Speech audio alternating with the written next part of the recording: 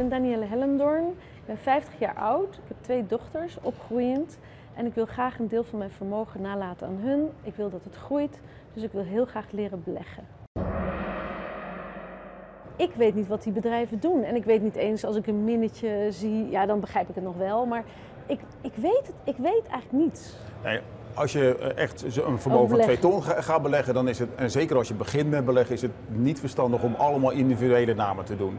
Wat ik dan zou doen is of in grote beleggingsfondsen of in indexfondsen en dan gewoon een, een portefeuille verdelen op basis van het, soort risico wat je aan kan. En dan moet je denken van oké, als ik van zeg maar, de helft in aandelen stop, dat is een ton, en de koersen gaan dan 20% naar beneden in een, in een correctie. Dat kan makkelijk, dat gebeurt vaak genoeg. Kan ik daar nog tegen? Hoe uh, slaap ik daar nog wel van of niet?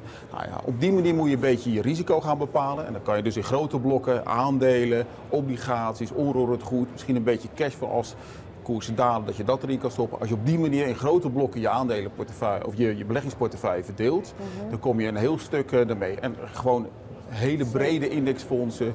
Een indexfonds Europa zit al in 600 verschillende aandelen. Dan hoef je dan zelf niet meer over na te denken. Als je dan ook nog kijkt hè, bij die verschillende bouwblokken, dat ze goed bij elkaar passen. Dat je een stuk in Amerika, een stuk in Europa, een stuk in de opkomende markt hebt. En ook nog de verschillende sectoren hebt, hè, van IT tot gezondheidszorg.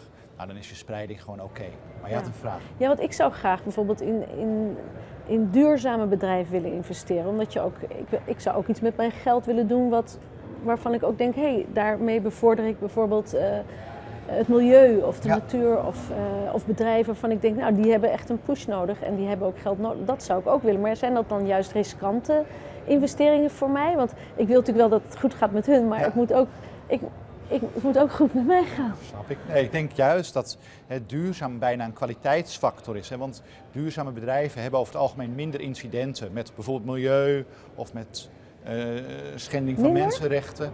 Uh, en ik denk heel veel banken en vermogensbeheerders die letten op duurzame dingen, die sluiten dingen uit. Hè? die, die schadelijk zijn voor, voor het milieu bijvoorbeeld. Maar uh, die kijken ook echt naar de positieve dingen. Welke bedrijven zorgen voor oplo oplossingen? Hè? Uh, bijvoorbeeld alternatieve energie versus fossiele brandstoffen. En, en ik denk dat daar eh, ook veel kanshebbers voor de toekomst uh, zitten. Wij zeggen altijd duurzaam tast in ieder geval je rendement niet aan. En het is wel iets anders in de tijd verdeeld. Het ene jaar doet duurzaam het iets beter en het andere jaar gewoon beleggen. Ja.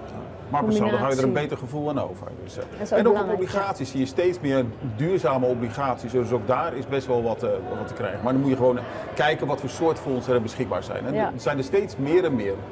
Wat zijn nou de dingen waar ik echt voor moet opletten, waardoor misschien het helemaal mis zou kunnen gaan? Wat is, wat is nou iets wat, waar, ja, wat gevaarlijk is voor mij, wat ik absoluut niet moet doen. Ja, hou je bij je eigen plan. Laat je niet gek maken door allerlei goeroes die hele extreme dingen roepen.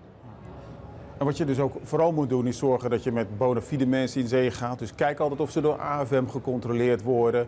Heel belangrijk. En ga op zoek naar objectieve bronnen, zoals een Morningstars of Vereniging van uh, Effectenbezitters, de VEB.